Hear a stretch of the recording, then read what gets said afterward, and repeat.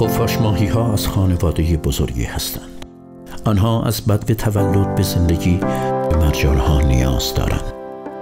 پس از تولد لارف ها توسط عروس های دریایی تا نزدیکی ساحل و کنار مرجان ها حمایت شده و آنها در کنار مرجان ها پناه می گیرند تا تغذیه و رشد کنند.